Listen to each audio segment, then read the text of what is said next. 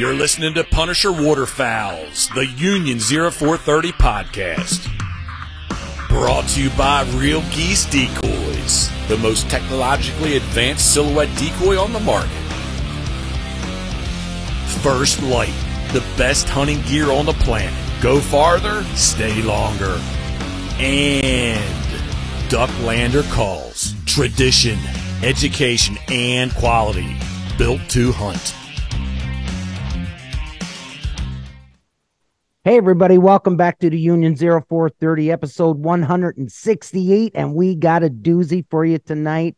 We got Ryan Clark from Swamp Ox jumping on with us. And if you haven't heard of this company, um, you, are about to get it being for a good treat. So, um, before we kick off, Mark's up in the top left hand corner, coming to us all the way from Nova Scotia. Philly is down in Port Perry in my bottom left hand corner. We got Ryan Clark in the bottom right hand corner, coming to us from Ark Arkansas, and I'm just outside Kingston, Ontario.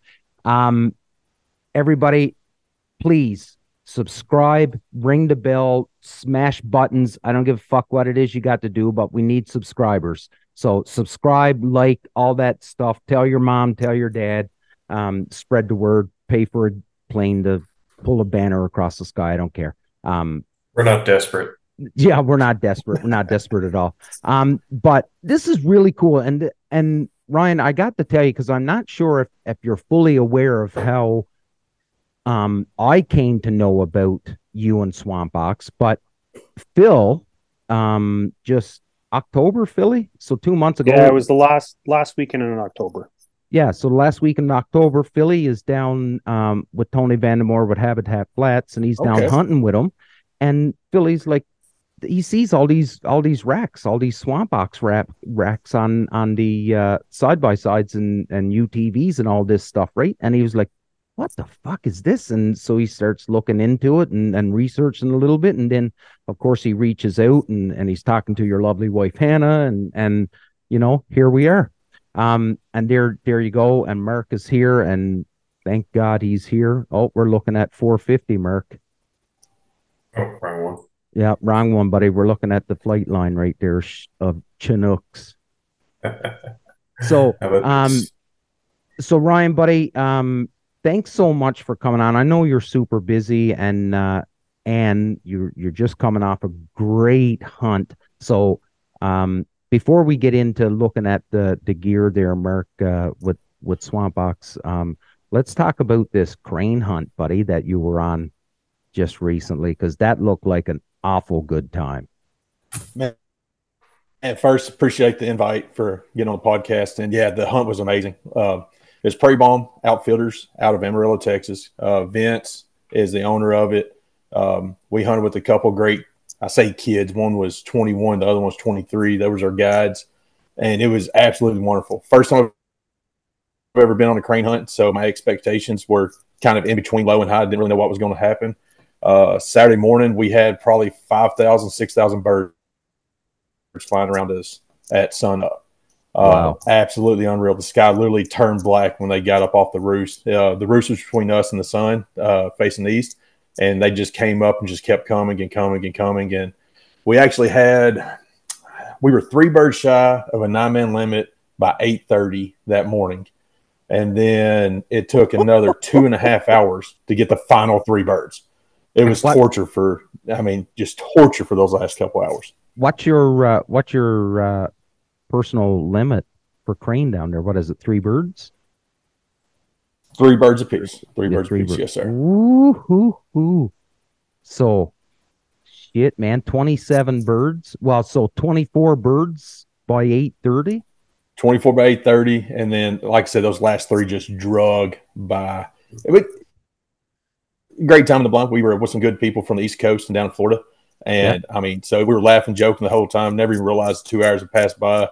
And then we started counting everything up and realized we were three short. And finally, we had the last three kind of work in um, and finished it out that morning. So it was great. Wow. So I'm gonna have to plug. I'm gonna have to plug Vince and them, man. If y'all ever looking yeah, for absolutely. a crane hunt, those guys down at Prairie Bomb, uh, they do a great, great job down there in Texas. I'm gonna write that down because I'll uh, I'll I'll tag them uh, when I make the post and everything. So Prairie oh, Bomb. Prairie Bomb, yes, sir. Prairie Bomb Outfitters. Um, yeah, so a couple hours, that's a nice little break to cool the guns and and have a have a cigarette and and fill up your coffee and and poke fun at fellas who miss shots and stuff like that, and then get ready for the final three, right? Oh, yeah. And unfortunately, the last one before the break was a solo that came kind of in behind the blind, and I whiffed on the first two shots and then finally connected on the third one. And yeah, so two hours of hell getting tortured about missing two shots out of the three. So I was the unlucky one that morning. yeah. Um, that's funny because you know, to anybody, I've I've only ever hunted crane once, and I've only ever shot one. Um, and and that's debatable because I think there was a bunch of us that all pulled up and shot. I'm claiming I shot it, and I think there was a couple other fellows that claimed that they may have got it too. So it's uh, That was kind of like the snow goose hunt last year. yeah, one one bird, he would long dead before he hit the ground. yeah, yeah. Um, but you know, like you think about it, like it's a big bird, it's a big target that that's coming in at you, and you think that those things you'd just be able to knock those things down easy, but they're not so easy. Well, yeah, Yeah, I've they're had a couple people ask me about it uh, just this week, and I told them I said they're easier to knock down than geese are.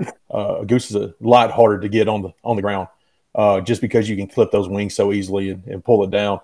But but uh, the first volley Saturday morning that went down or that was shot, I think we dropped, I believe eight out of the first volley. We had one that drifted out about 300 yards, one that was about 200, a couple about 150, and forward a little closer. So the guides broke loose. Me and another guy with the blind took off after him and uh, ran by one that was not quite dead. So I grabbed it, wrung his neck, and I took off after another one at 150. I get about three feet away from it, and it popped up and hissed like a bobcat would or something at me, stopped me dead in my tracks. I was like, guys, what the what the hell is this, man? And uh, they were just yelling, kicking in the head, just kicking in the head. I'm like, oh, you're funny. They're like, no, no, no, like definitely do it. Do not grab that bird, you know. Yeah. So I finally got a Poke hold your of eyes it. out. Oh man, that's what they were telling us. They don't even take their dogs with them because No. there's No. been horror stories of dogs getting I've heard that. Yeah. uh, getting whooped by them pretty bad. So And Ryan, I'm going to tell you, buddy, like I can really only see your shoulders and head, but you look like a big Oh. dude.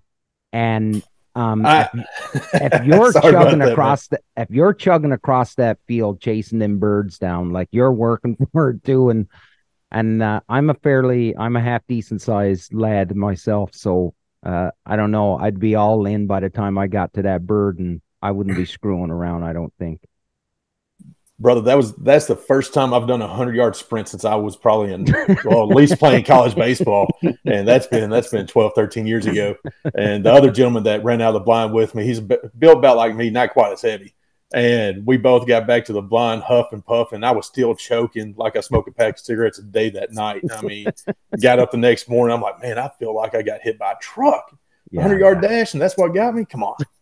so it's definitely, definitely made for smaller people when you get out there running across those fields. I love that stuff. Eh? I I remember was with uh like Merck. Um, I'll be walking around the woods with Merck and stuff when he when he lived close by, and and I'm always dragging behind him. Eh? Merck is always out walking around and climbing over stuff in the woods and stuff like that, and I just couldn't keep up with him. Eh? And and and I'd mm-hmm. you know at the end of the day, I'm like, man, fuck this. I got to get back in shape. Back back to my days of being in the army and and being in shape and sh- shit like that, and and I'd convince myself and then Merck to throw like a big bag of Lay's potato chips towards me, and I'm like, yeah, I'll start, I'll start that tomorrow. Fuck Hey, that. don't, don't, don't ever forget, round is a shape. That's right. is a shape. It is a shape. You were correct. Train for the downhills.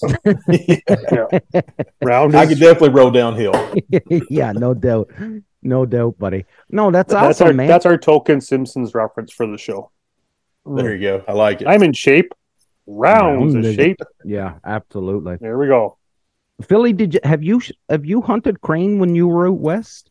Did you guys No, hunt what- crane? We we never really targeted them. Um, we'd seen some. So like the house that we rented for the week that we stayed in, like you could get the binos out and like you could literally scan the horizon and see like Newfoundland because it's so fucking flat. Yeah. Um, but we'd seen flocks um, a couple fields over. Like there was a bit of a valley out the front door. yeah, out the front door, a bit of a valley, so you could see like shit a kilometer, and we'd seen a pile out in the field. Like I couldn't tell you how many were. I don't know, a couple dozen, hundred, whatever it was. Right. Um, but like actively hunting, like we actually we primarily targeted ducks when we were out there. Right. Um, but we never saw a single crane come through like our spread or whatever. Really. You know, we'd seen some here and there, and like I've seen if actually a few flocks fly over. Oh, it was the field that I took you and Mark to. Right. I've seen two flocks fly over that field. We've Yeah, had st- Fuck, are they hundreds and hundreds of them around the Ottawa Valley. Oh yeah. Yeah. There's we're starting to get numbers I of them now. thousands, but hundreds. So Ryan, uh, Manitoulin Island is Yeah. like loaded up. yeah. So Ryan, historically, we haven't in in Ontario, we haven't been seeing crane, and then all of a sudden, in the last um in the last ten years, we're starting to see them, um, and their population is, is growing. We're nowhere near, I don't think, uh, anywhere near the numbers where we're going to be able to have a hunt. Um, Gotcha. but but if it's if it's managed properly, you know, maybe someday down the road we will get to have a we'll get to have a you know a crane hunt because it wasn't and and Mark and Phil, you guys could probably educate me on this, but I don't know how long ago it was, but there was no turkey here in in Ontario, and and now like wild turkey, Uh, wasn't that long. That was 20, 25 years ago when they repopulated those. yeah, the big the big reintroduction I think was like the late eighties, Yeah.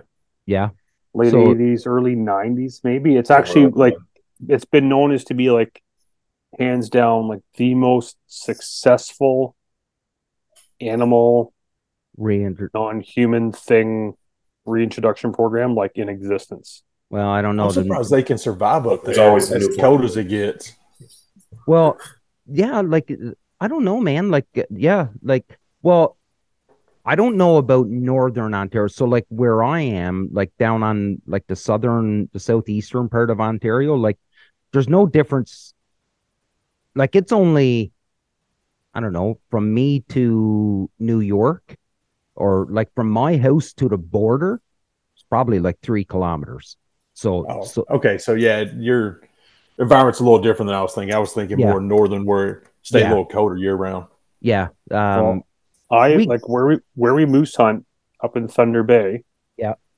So f- for you, Ryan, Thunder Bay is like the north shore of Lake Superior. Um, I've seen turkey tracks up where we moose hunt, and that's like an hour and a half northwest of Thunder Bay. We've got you. already spent you. too much time talking about turkey on this show, and not and not and not Too bad, ducks. Dave. Too bad. Man, I could talk. I could talk about any type of hunting. I've, I've been hunting my whole life, and everything from deer, rabbit, raccoon, squirrel, uh, all the way to turkey hunting, and now I guess officially sandhill Sandhill crane hunting. How Uh, was, uh, on how's the resume your- too now. How's your duck numbers in in Arkansas this year? if you look at the report- reports, they seem good. Uh, we actually have a farm down in Stuttgart. We have about 200 acres down there, a little closer to Humphreys. Um, and we're kind of stuck in a little bit of a bad spot. So, Bayou Meto, wherever what we call the shooting grounds, the public hunting, where everybody just dreams about going hunting, they're about five, five, six miles from the closest point of the WMA to our corner. Uh, but right beside us, uh, uh, ABF, Arkansas Best Freight, actually has land and Okay. they have around 250 300 acre rice field that they actually don't hunt it's 100% rest area and so you know we'll sit there and watch two three thousand birds a morning cup right over us head a quarter mile past us go right in that field and then you don't see them again until right before roost and they're flying back across our slough so um, i officially i don't know because i haven't talked to enough guys over there Right. Yeah. uh, but from what I've seen, it seems like the numbers are higher. I at least know our speckle belly numbers are higher because we uh, got bumped up to three per person per day as opposed to we've been at two for I think last 10, 15 years. So Okay. Okay. All right, buddy. Let's get in. Let's talk. Let's talk Swamp Ox. Because listen, I don't own a UTV, a side by side, but I I won't see you buy a swamp ox. yeah, but I tell you that liquor cart. I'm. I'd like. I'm just looking. I could almost. I could almost justify the cost of the cart I just wouldn't be able to justify the cost to ship the fucking thing to Canada. I couldn't even Uh. imagine what that would cost to get to Canada. You know, the crazy part is Look at that. we've actually shipped we've shipped stuff uh, full rack systems up to Alaska. So it is expensive, but it's Yep. not at well, Alaska was really expensive, just the way the ports work. But Right. um, so that that cart, I do off the top of my head, I don't know the overall size of it, but as you can Yeah. see, it comes with SeaDek on it. Uh, holds quite a bit, quite a bit of liquor, and uh, your choice of what to put on top of it. Um, I think we still have a couple sitting around the shop. I'm not, I'm not 100 percent for sure. Uh, we may have sold out the last one and then just never restocked. I'll be honest with you. It's awesome, man. Like I, I look at it and like I said before uh, we start recording, if, if that doesn't want you to get shit face loaded drunk, I don't know what it is, but like it, it looks like it's built for a man. It's built for a man cave. Like it's built is. for in, It in the garage, right? Oh yeah, man. Uh, so the guy that actually uh, owns our property where our shop and stuff is, uh, he has one in his man cave. Uh, whenever we do a trade show, we normally would take one with us, and it's always a talking point because you always have that one guy that really doesn't care about the racks and walks up and is like, "I want that." I'm like, "It's for sale," you know. So because you put you put liquor on anything, you always have a have a guy walk up, start asking questions about Absolutely. Well, like Christ, that, that'll just make you sell anything. it. Yes, that is true. Yeah. No, absolutely. But um, but Philly, like let let's talk about let's talk about at at Habitat Flats and and you saying so. You know, obviously Ryan's going to come on here and he's going to talk about how awesome the products are and, and stuff like that. And, and and that's his job, right? That's what he's supposed to do. Um, but you, you know, you, seen it firsthand down there, and, and you're riding around and the side by sides coming from the lodge out to the blinds every day and the gear hooked up and and and everything you know tell me tell us a, a little bit we'll we'll get to ryan when he can tell us all about how awesome it is but i'd love to hear your point of view on it like obviously, you're you're duck hunting in Missouri and Arkansas, just like the culture and everything. It's night and day different in comparison to what we have up here. right Um, so being down at Tony's place, um, they've got. I actually asked Tony one day. I'm like, "How many side by sides do you guys have?" And they're like, "24." 24 24 fucking side by eaches. and they run them for a year Yeah. and then flip them. Yeah. So every year it's a brand new side by each. Yeah. Um, now like out of the pile that we saw, because they got prop like they they like legitimately have side by sides stashed in the bushes fucking everywhere. Like there's places where like um some of the guys will run out of the side by side straight from where the lodge is. There's other places like we drove to the um, it's actually like the guide's house. So all the guides that work for Tony, like they have a house and that's where they stay. Because there's guys that like they commute in from like two, Okay. three, ten hours away. So there's side by sides there. You'll drive out into the middle of the fucking bush and there's a sea can cut open and there's three more side by sides. And mm-hmm. so a good portion of the the side by sides that Tony has, you've got the swamp ox racks on. And the nice thing is is it basically doubles your ability to carry stuff. Right. Because like there's some some of the uh some of the blinds we went to like especially when we went to the guide's house parked the trucks there jumped in the side by sides. It's like a i don't know three four mile drive from the house to where the blinds are. Yeah. so you know you're running well we were a party of four and you've seen some of the videos and stuff where like there's like five six seven guys clients running in a blind so you've got a dog, sometimes two. So you have like a gunner in the back of the in the box in the side by side. So now you've got X number of guns, X number of blind bags. Some guys are running coolers, like the guys, because like you know they're bringing snacks and drinks and stuff out for the clients. Mhm. Um, heading back from the blind to like where your trucks are, like you can hang your your straps of ducks off these things. Um, there was one day Trevor Davidson and I we went into town. That's what you want to call it. There's like literally a gas station in Sumner, Missouri. So we wheel in there, grab some stuff and whatnot, and like literally guys just appear out of like nowhere. and it's a bunch of duck hunters on a side by side. Well, guess what? They have a swamp ox on the back of their side by side. And again, they've got blind bags jammed in there, guns. They've got, you know, for guys that are running and gunning through the bushes and doing like these public land hunts, they've got piles of decoys hanging off this thing. So like just the absolute versatility and ability like to double, if not triple, the amount of shit you can carry without like having like have a second side by side Right. or have like a trailer or a sled or whatever else. Like it's just it's an absolute genius idea. Like Ryan, um, is, is the reasoning behind it? Um, uh, obviously, it's it's for load carriage, um, but is is the reasoning behind the racks so that it doesn't take away anything of the structural strength of the of the machine itself? Is that is that the idea behind it? Yes. Um, Yeah. I mean, it's all about what Phil was talking about. I mean, just being able to maximize the amount of stuff you can carry in. The way our product works, you do you don't have to drill into any of your rigs. Our Oh. bed mounted cab racks, they go into fact or our cab mounted uh, bed racks go into the factory holes on both Can-Ams and Polaris's. Our bed mounted racks actually uh, cap over your bed rails and then they bolt into the or they turnbuckle into your bed. So uh, structurally wise, I mean, they're Yeah. they're strong. You know, we Yeah. tell people on the cab mounted racks, be smart about it. Don't you know? Don't throw six hundred pounds of deer corn up there and go out to a deer feeder and try to try to feed it all. You know, uh, but we've had a couple guys my size, and I'm well about three hundred pounds. Uh, hold on to the back of it and never have an issue out of it. Um, so it's really just maximizing the space and being able to to carry a lot more stuff. Uh, for example, when we're down in Amarillo crane hunt this past weekend, the field that we hunted on Friday was frozen over when we got out there. It was down around 22 degrees, 23 degrees. Well, by the time we were getting ready to leave out, uh, it had thawed. So, and it was some of that old buckshot mud that just sticks to you and gets thick. So, we didn't want to bring the tandem axle trailer back out there. Mhm. So, they end up loading out. I don't remember how many decoys we put out, but it took them nine trips and that luckily they had a bed rack on there. So, because if they didn't have a bed rack, it probably would have been another five or six trips, you know, in and out of a field, 450, 500 yards.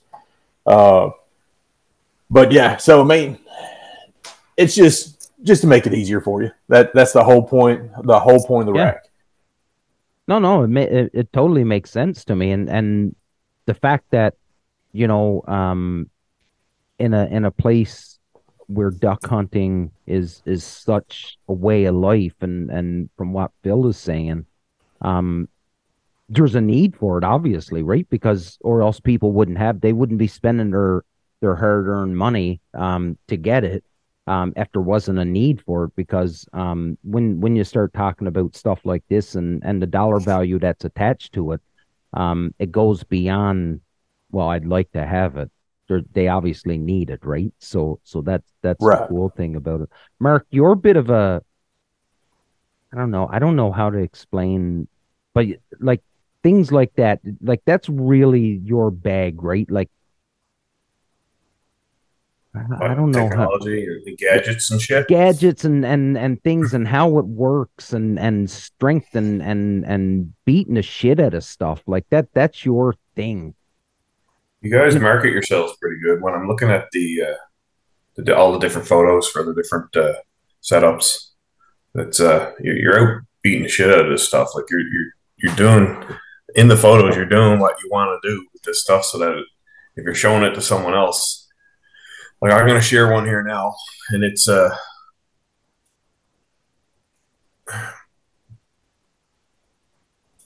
It looks like a battery. Is that batteries? Yeah, those are those are batteries. Uh, There's one, two, three, four, five. And I think it's one of the Daybreak things that had six Outdoors. Yeah, I mean, so that's our that's our bed extension. It gives you another three and a half feet off your uh, bed. It um, again it turnbuckles into your bed, so you don't have to actually physically mount it into the bed. One guy could actually pick that up and take it out and put it in. It weighs, you know, seventy five pounds, eighty pounds, uh, and then to go back to your structural convers or structural conversation, it actually bolts into your ball hitch on the back of your rig. So you get that underneath support and you don't have to worry about you know, Oh, cool. it tilting or bending or anything else. So But that's got to be at least 400 pounds of battery sitting on that. at least, at least. That's crazy. That's pretty tough.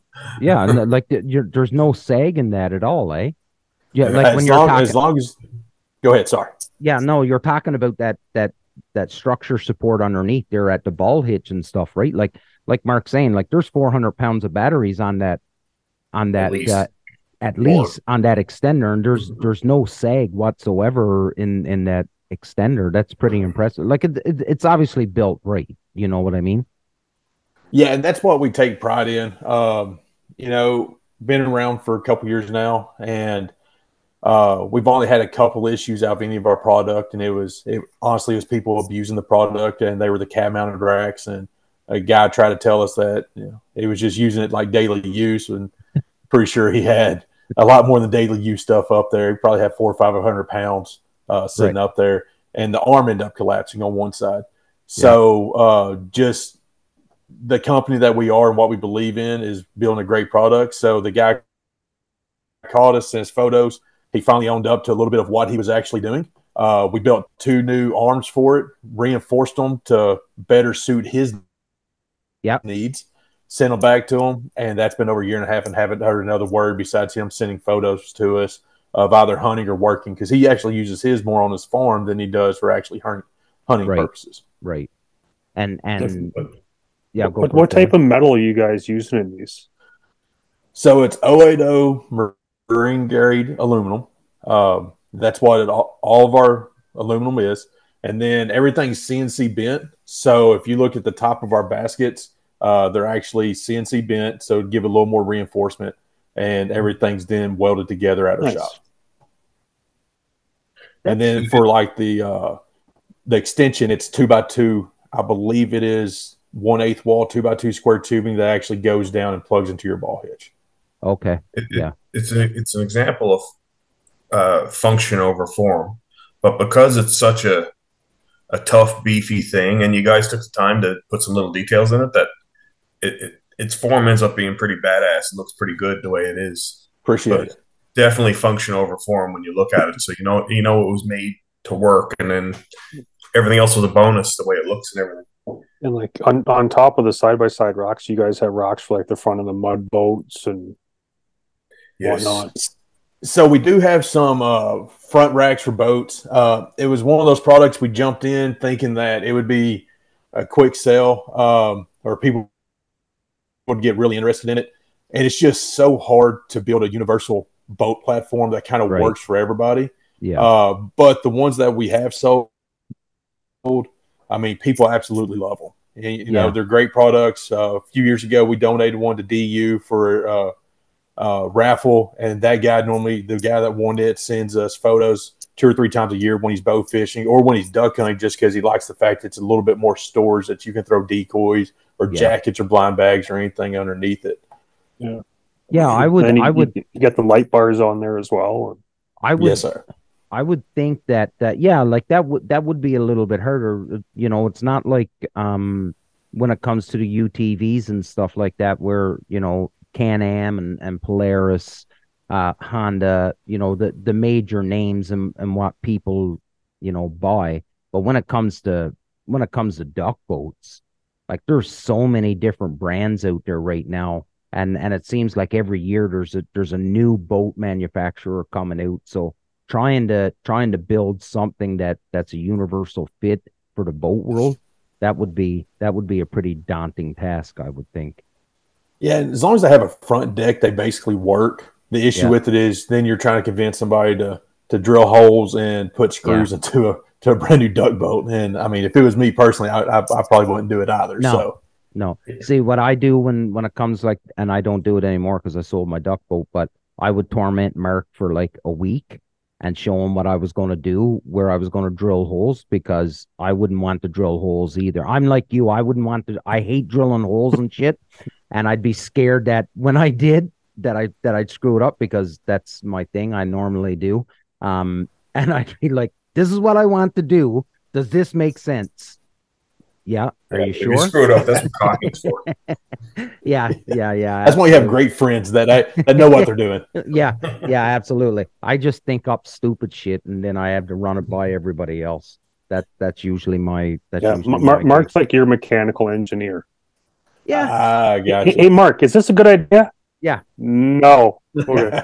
hey, I want to do Oh. this. I want to do this.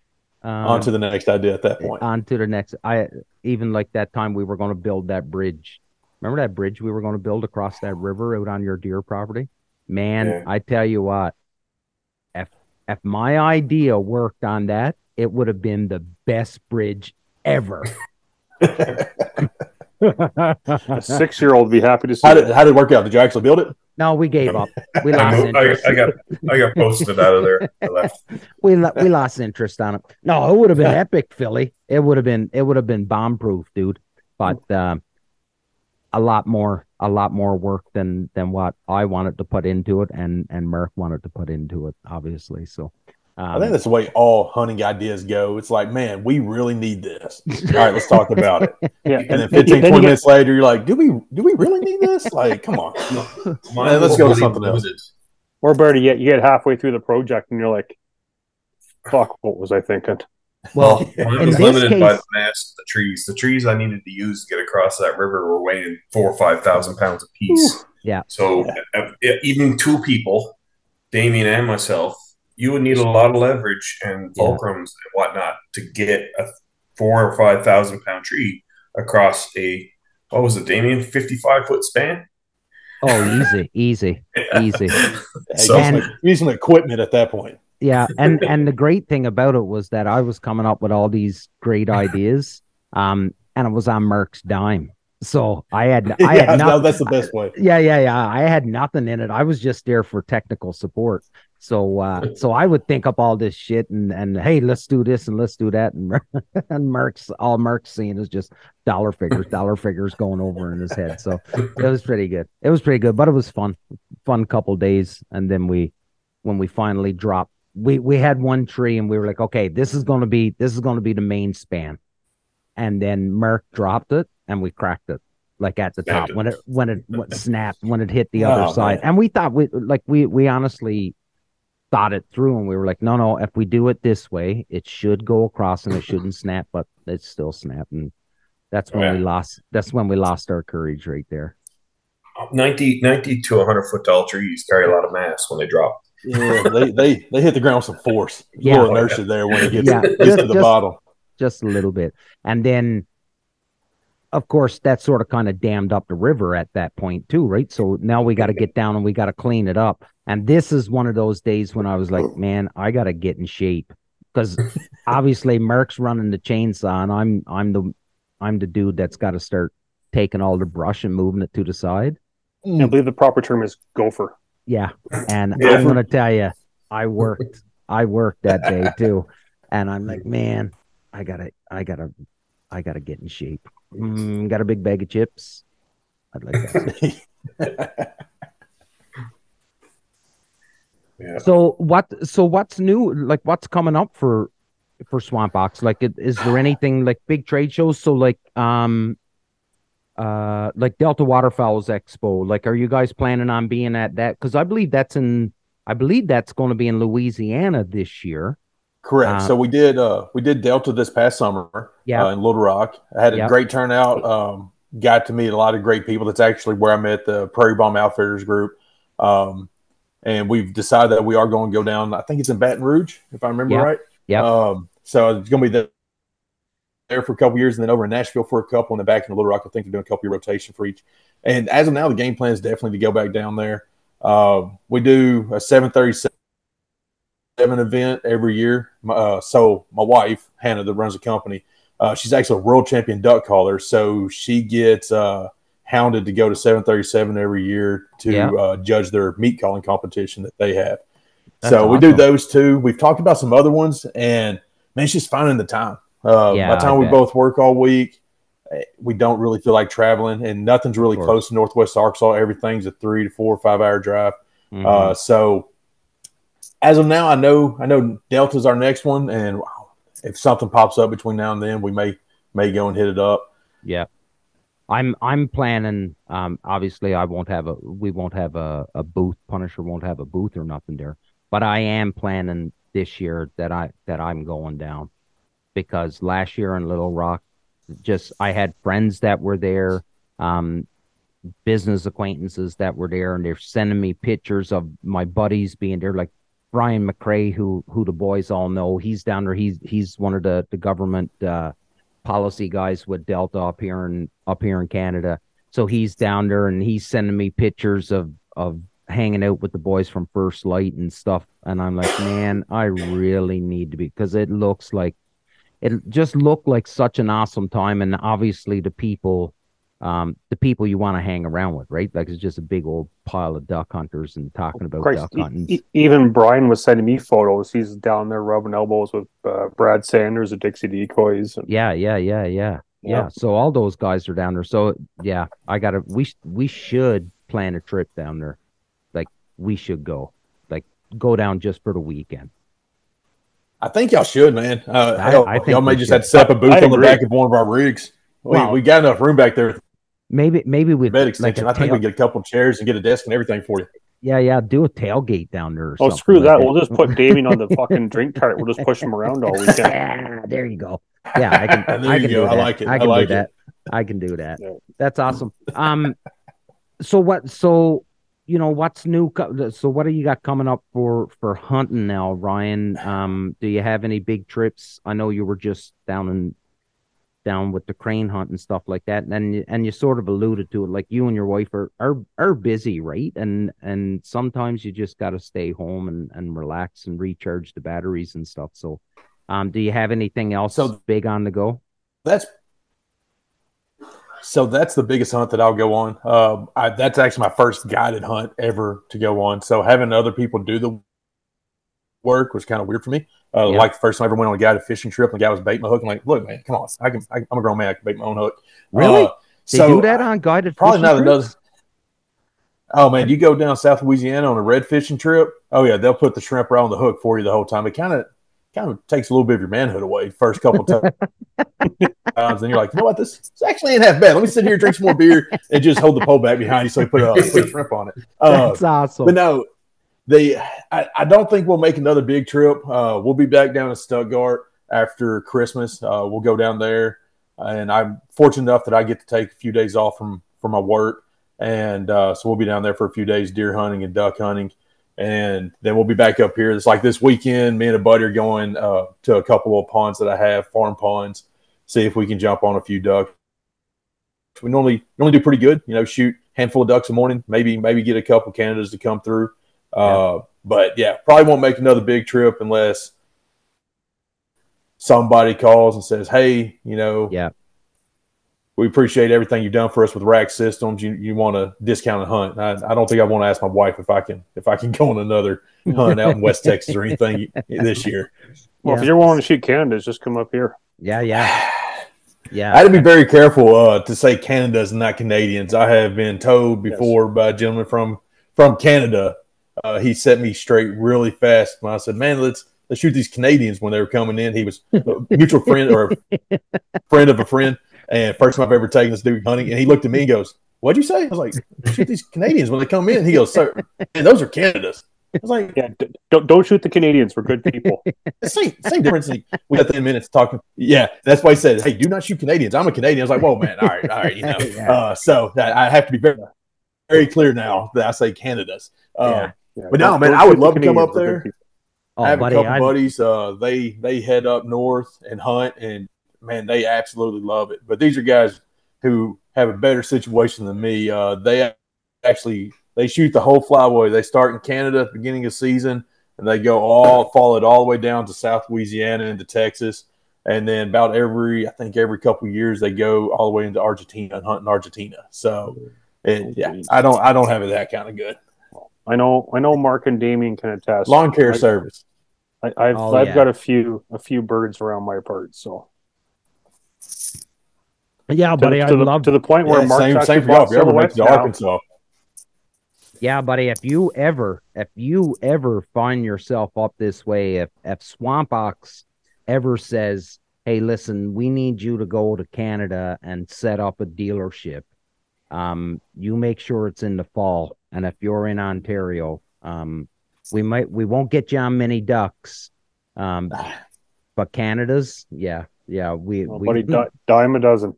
yeah, I'll tell you right now, I'm gonna I'm gonna tell you this as, as a possible hookup for your company. You want to get involved. If you don't want to set up your own dealership up here, get involved with Royal Distributing in Ontario. Royal Distributing.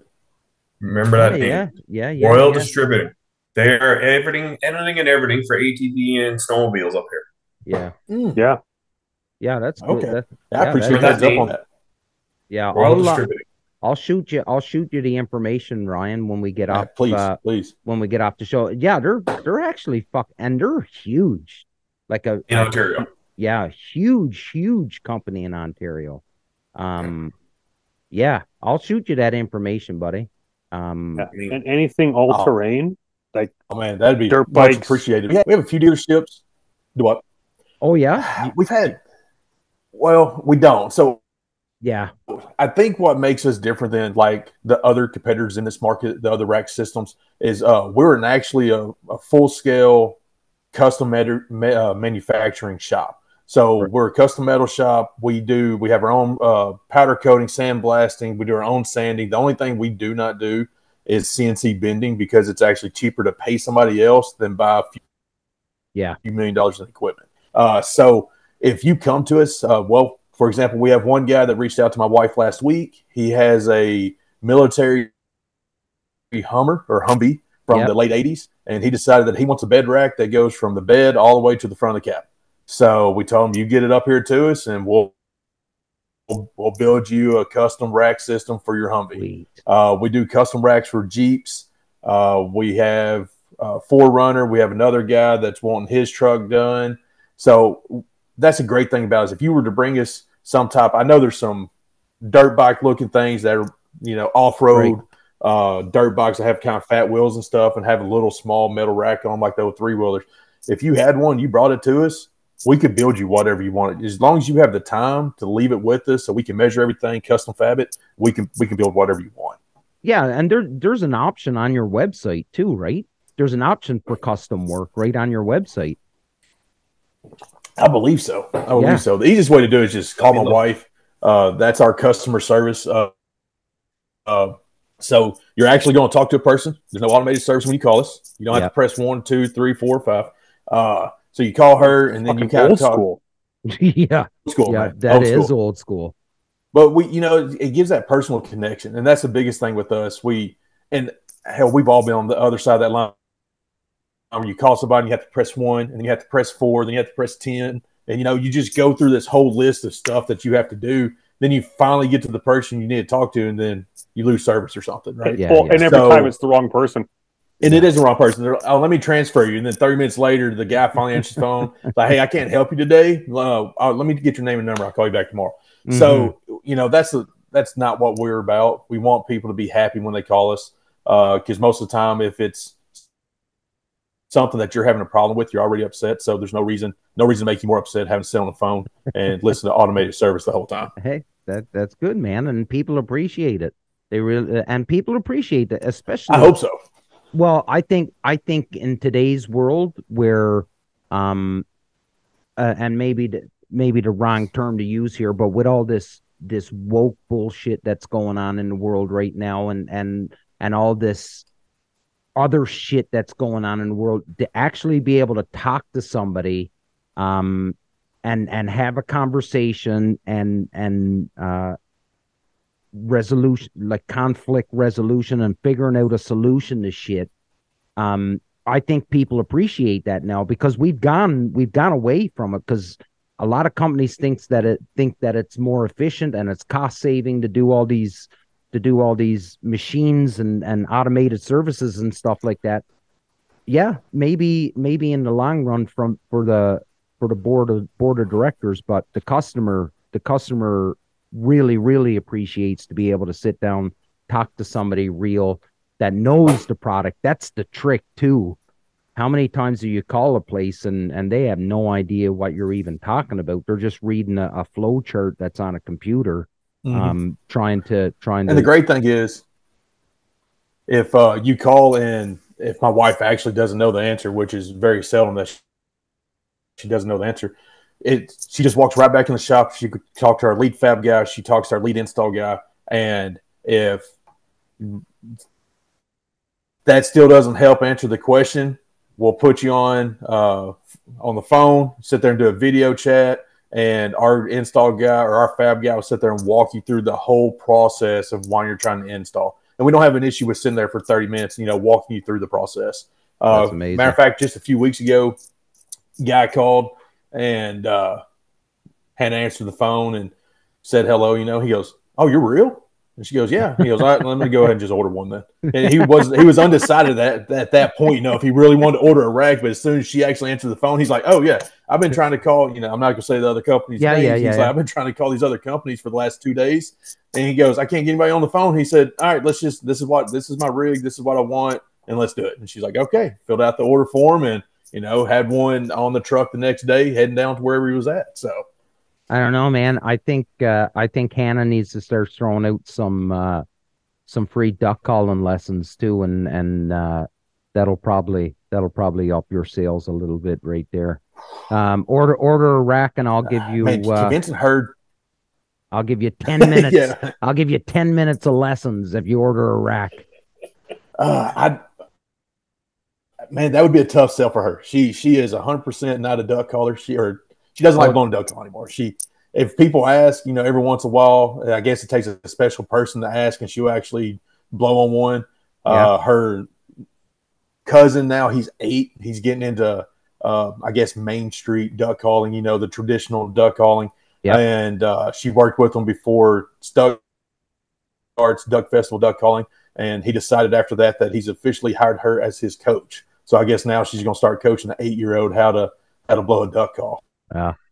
He's so we'll see. We'll see how long he lasts. See how it goes. That's awesome. All right, Ryan, let's hear it, man. Favorite species to hunt? What is it? Or favorite duck? I don't care about. I don't care about big game. Don't want to hear about big game. Favorite duck. so favorite duck, man, that is a hard one.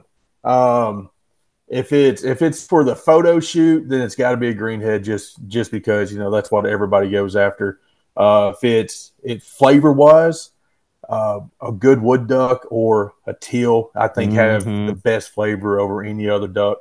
Uh, believe it or not, probably my f- favorite duck to just go and hunt. I know this is probably gonna be an odd one. Y'all probably haven't heard this one. Spoonbill.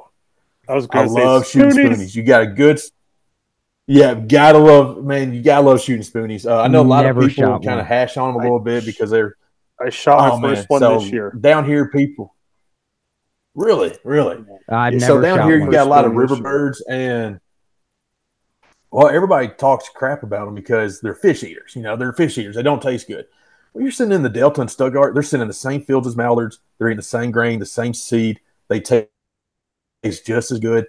And you got a bigger bird that has a good flight on it. You know, so they're kind of quick coming in. You don't have to work them too hard. They'll drop in like a teal, and they get out of the hole like a teal. So I think spoonbills are probably my favorite to shoot just because you get a good mix of a good sized bird and it's a fun shoot. I'd like to shoot a spoon. I'd, I'd, I would.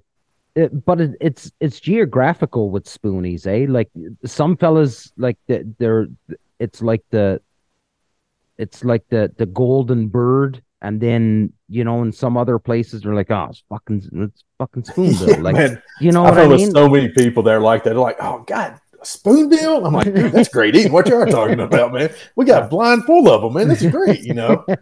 I'd love, I'd love to have one. I'd love to try one. Um, I really In would. fairness, you're not limited to just four. That that's another point. I like birds that I can shoot more than four of, and There I don't have to really hear people talk bad if you accidentally shoot a hen, and then you get the whole "oh, you shot a hen," you know. So uh, with Well, in- spoonies, nobody really cares about it. So you in- just shoot six fairness- and go home. The spoonie that I shot this year, it was opening. It was our opening day of duck season. I was out with a good buddy of our good buddy of mine there, Chris Stewart, and I water swatted a hen spoonie. There's nothing wrong with it, man. Uh, Uh, it, it does. It doesn't like. It does not get any lower than that. I Hey, bud. water swatted a hen spoonie. You would Yeah, get it- no judgment from me on that, Philly. Hey, None whatsoever. At least it wasn't a not, coot. not from here either. At least it wasn't Yeah, a at least clue, it wasn't yeah. a coot. It wasn't a coot. I still, Christ, man, when- that When That we were time- when we were down in Habitat Flats, fuck, our poor guide Hayden. God bless this kid. Absolute amazing human, like just phenomenal guide. And we got we got him going about the coots because like coots are like fucking like they're like pigeons in Missouri. Like we- we're driving by all these like flooded rice fields, flooded cornfields, flooded this, flooded that, and there's like fucking coots everywhere, and you can't shoot them. Yeah. And oh, poor No, Hayden, we're no. like, oh, here comes a coot. Someone fucking lace this thing. Oh, man. we got this poor kid just spinning. We thought he was going to have a coronary right in the blind. But Logan McNulty, So wait, are Logan would be proud. Yeah. Yeah. Go for it, Ryan. Uh, so our slough is actually a closed off slough. It's it's dammed up on both sides essentially. It's and wet season slough. It's, well, it holds water year round because of the beavers. Uh, but there's no natural creek or really coots mainly on your big bodies of water, your lakes and stuff. You don't really see them on the rivers in Arkansas. But anyway, it's closed off from any large scale body of water. And uh, so open weekend back with uh, Senator talking about fall on like, man, I, I can't believe we haven't seen our coots. We only had you know one or two residential coots. Don't know where they came from. Have no clue. Have no clue how the alligators haven't taken them out. And uh, so Saturday didn't see them when I made that comment. Sunday didn't see them. Monday didn't see them. Tuesday, Wednesday. Finally Thursday, Thanksgiving morning, we hunted a quick little hunt before we headed out, and uh, we had probably about fifteen or sixteen. It's the most coots we've ever seen on our slough. We're like, where the hell did these birds come from? you know, we're just staring at them. They're swimming through the decoys and hanging out and stuff. And yeah, so it they're That's a, they're you know what that birds. is? They're very That's very some dude- birds. that's a dude from California that's bringing those birds over to you, man. He's- he's- Probably yeah, yeah. well, that's like an East Coast delicacy. Um, listen, I got to stop you because you said something there, and and I've really got to talk about it. Fucking alligators. yeah yeah so we have uh i know it's kind of crazy um so you know wild pigs are a big deal Yeah. in south arkansas we just we have wild pigs everywhere and but if you get up to stuttgart there's like a hard line in the sand where the wild pigs just don't cross so for some some reason we don't have wild pigs but we have alligators um so I, at one point we had uh, about a 13 footer in our reservoir we have about a 25 acre reservoir and Bayou Meto the actual bayou runs through, cuts our property in half. And so we think she came out of the bayou. Uh, we saw her for about a year and then she disappeared. Uh, in our back slough, we have a couple 10 footers that we've seen hanging out. And then my father in law, who uh, has to clean out the pipes from the beavers damming them up, he has a, he has about a four or five foot friend that he'll be waist deep water and this alligator will pop up 10 feet away from him, hang out for 30 minutes, just watch them the whole time. And my father will just climb out of the water, you know, and the dude's just like, all right, see you later, man. Kind of, kind of gives a little wave and just swims that. off. He's No. measuring them. Thank you. No Measuring them out. That's what I told him. way. He's measuring them up. Not I, I a- would legit have the big fucking dirty hairy 44 mag with like the 36 inch fucking barrel and like 400 grain slugs strapped to my chest. buddy. I That tell you gator what, is Also, what's keep funny- doing that if you want to have, yeah, Until he's if big enough, yeah. if you want to have a good time, and I mean you and your buddies just laugh your ass off, bring me down to your fucking refuge and then let me see an alligator and you watch me freak the fuck out. Could you imagine? No way, dude. No, Man, we've had Hard pass. yeah, early, early season, you know, right, right at the beginning of the season, we, you know, we're still a little warm. We'll get up in the 60s, 70s. So they're going dormant a little bit, slowing down. But we, yeah, we've had them swim through our decoys and kind of just check us out.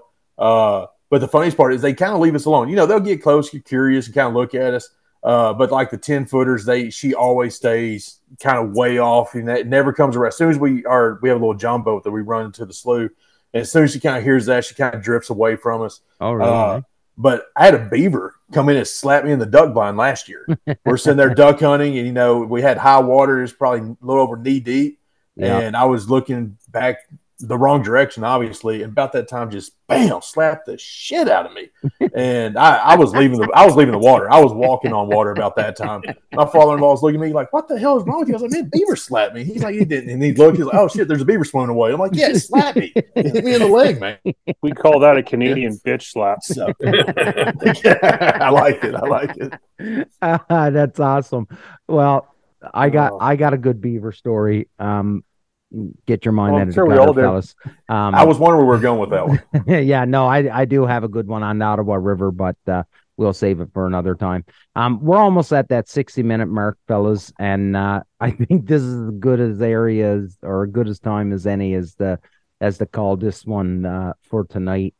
Ryan, buddy, I can't thank you enough for coming on, and and Phil, I can't thank you enough for for you know doing the legwork and and and setting this up and talking to Hannah and introducing me and the whole bit. Um, this is a great show, a lot of good laughs, and I, and I know the millions and millions of fans are going to really enjoy it. So, um, we'll do a quick around the table and then uh, give you the last word, Ryan. Uh, Mark, to you, buddy. Uh, two things. First, Ryan, good to meet you. Uh, you seem like a pretty good dude, and you guys got a good company there. I've been looking sizing up your your gear over the last little bit, and uh, if I did have a side by side, I'd set it up. That swamp kitchen is something else. I gotta say. It holds a 35 pound sack of crawfish. And uh, uh, I'm sure I could convince my wife to give you uh, the turkey fryer attachment for free that comes along with it, also. We, we just Wicked. want the crawfish. You just want You the know crawfish. what? I got to take a minute. I'll tell you what, here. if you buy the cooker, I will I will personally send you a 35 pound sack of crawfish. How about that? Jesus. See, Wife wouldn't complain. we we got to take a moment here to just um, appreciate the American attitude, and that is something that I brought up on this show a million times before. Just fucking go big or go home. Like that's, That's the way it, it is, man. man. That's the way it is. Like if you're gonna do it, do it right. I love One it. hundred percent. Every day, Sorry, every day. Sorry, Mark, I jumped in on you there. And the uh, the second thing I wanted to sorry uh, to, to drift off from our our conversation and point here, but uh, I just wanted to mention Craig Mintz and Real Geese Decoys. Uh, Mhm. During the last week, uh, I said I wanted to get some silos. Yes, you heard that right. I wanted to get some silos, and uh, Damien immediately put me in a conversation with Craig, and uh, within minutes, I think we had uh, we figured out what we wanted and how much it was going to be, and and uh, anyway, so we ran into some issues with shipping, but I gotta say, Craig and his team really stepped up and jumped over walls Mhm. to uh, get those decoys to me. Anyway, they're down in the uh, in my garage now, waiting for their next first hunt. Yeah.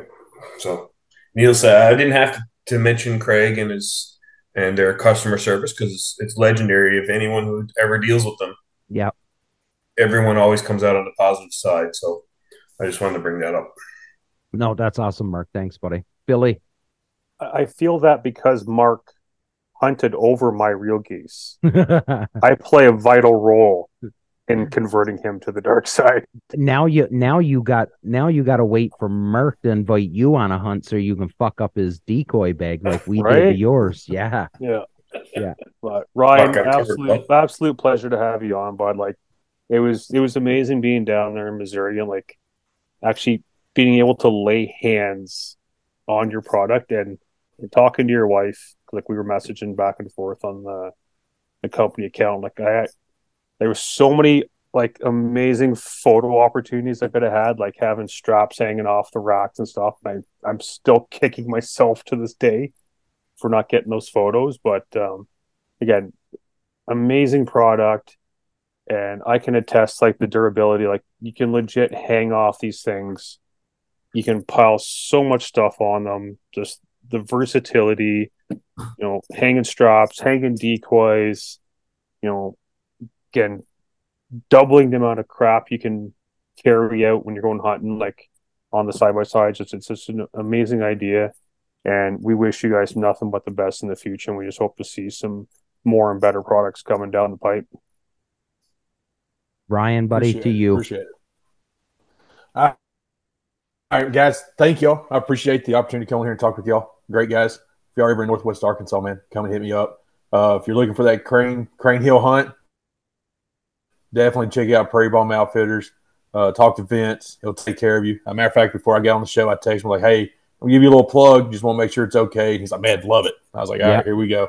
So, but yeah, if if y'all end up getting side by sides, reach out to Hannah, and she'll take care of y'all, hook you up with some with some good deals. And uh, if you know any dealerships up there, man, just just let us know, and we'll figure out how to get it across the border one way or another. Yeah, buddy. Yeah, I'm gonna get that to you, Ryan, buddy. Um, we've all said it. Thanks so much for coming on. Uh, and to everybody listening, this is Ryan's first podcast, so It is. a, it is a big deal that he that he chose us to uh to do it. So uh, you know, not a big well, no big deal. You Let, let, us be honest. His wife said, "Go do this." know. Nice, dear. It was it was a little nicer than that. She was- she was like, "Hey, would you be willing to do a podcast?" And I was like, "Is anybody else in the shop going to do it?" time. Yeah. She was like, "I don't think anybody else in that yeah, is going to do it." I was like, "Well, if nobody else will do it, I mean, just ask. If nobody else will do it, I, I sure, I guess I will." she texted me back like, I, "Hell, she didn't even ask anybody." She's like, "Okay, Yeah. you're doing it. Nobody else wants to do it." It yeah, was like yeah, two yeah. seconds later, and I was like, "All right, Smile I'm- and nod, bro. it." Yeah. Hey, Smile buddy. and nod. hey, we've all been there, bud. That, that- best way to get through life. Yeah, absolutely. Ryan, buddy, thanks so much for coming on. Ladies and gentlemen, check Appreciate out Swamp Ox. Um, we've got a ton of followers in the States. And if you're not following this, check it out. we once the episode drops on on Monday, um, we'll have everybody tagged and uh, you'll be able to check them out. Go go check out their website. Mark was sharing the page. They've got some really cool options. And listen, um, if somebody please buy one of those liquor carts and put a bottle of bird dog whiskey peach on it and send me a picture of it okay? Um listen this is episode 168 of the union. We are not experts and we'll never pretend to be. We're just a bunch of dudes that love hanging out and talking with good people about duck hunting and everything that comes with it. Big love. Surround yourself with good people. Chat with you next week